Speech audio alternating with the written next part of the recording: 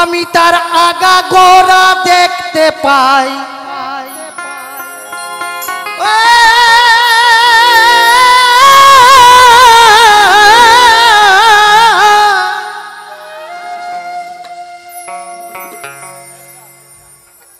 আমি তার আগা গোড়া দেখতে পাই।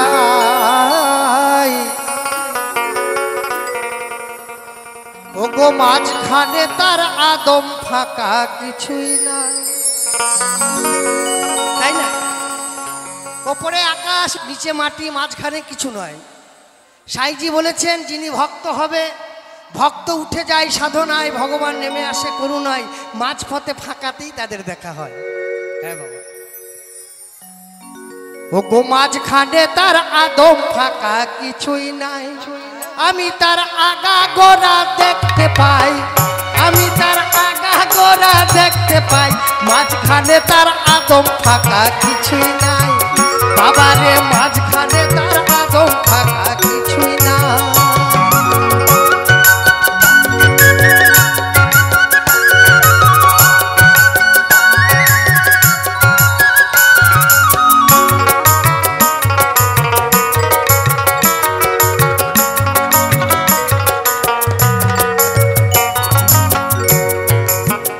গাছের ফল গাছে ধরেছে।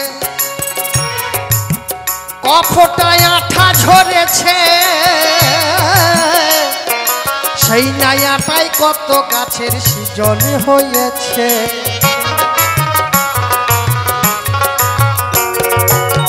গাছের ফল গাছে ধরেছে। কফটায় আঠা ঝরেছে। সেই নায়াটাই এই বীরনগরী লালন মেলায় কত কত কত উদয় হয়েছে।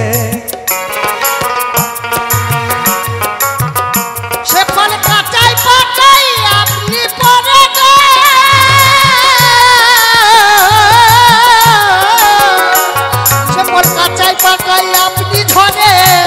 বাবা কতেক আছে কতেক নাই। বাবা রে কতেক আছে কতেক নাই। মাঝখানে তার আদৌ ফাঁকা কিছুই নাই বাবা রে মাঝখানে তার হ্যাঁ গো হ্যাঁ মাঝখানে তার মাঝখানে তার আদৌ ফাঁকা কিছুই নাই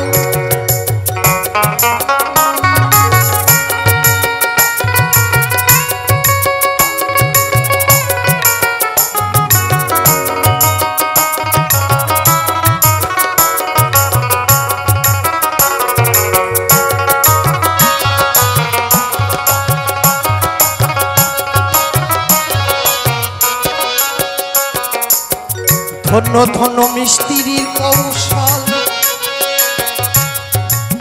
ধন্য ধন্য মিস্ত্রির কৌশল। ও ধরে দুই গাছে রাখি ফল। বলি, পারতে গেলে যাই না পারা গাছের ভিতর ফল। ধন্য ধন্য মিস্ত্রির কৌশল। ও ধরে দুই গাছের একই ফল। পারতে গেলে যাই না পারা গাছের ভিতর ফল।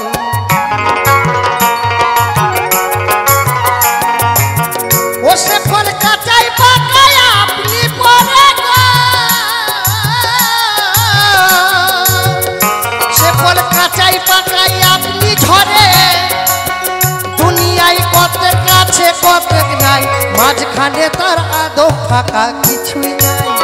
বাবারে, মাঝখানে তার আদম ফাঁকা কিছুই নাই। আমি তার আগা গোড়া দেখতে পাই। হ্যাঁ বাবা, এই গানটা কেন গাইলাম?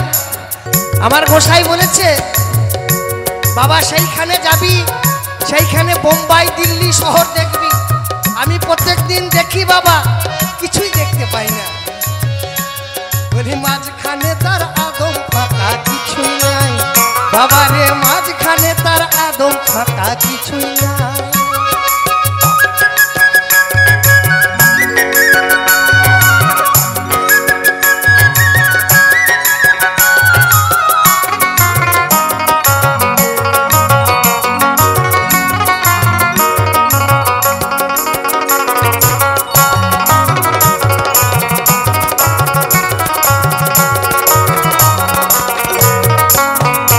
বসে লালন কই ভেবে?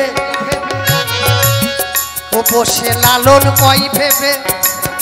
কবে গোড়াই ডগা মিশাবে সেদিন তুমি, আমি কেউ রব না লয় হয়ে যাবে।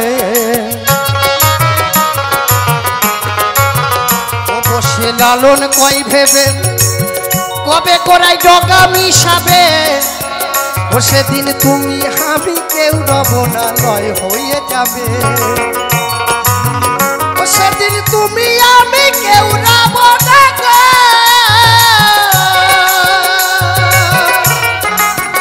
ও সেদিন তুমি আমি কেউ রব না। বলি, থাকবে শুধু একলা সাই। দুনিয়ায় থাকবেন শুধু একলা সাই। মাঝখানে তার আদম ফাঁকা কিছুই নাই। বাবারে মাঝখানে তার আদম থাকা কিছুই নাই।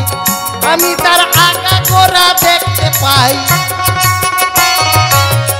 আমি তার আগা গোড়া দেখতে পাই। মাঝখানে তার আদম কিছু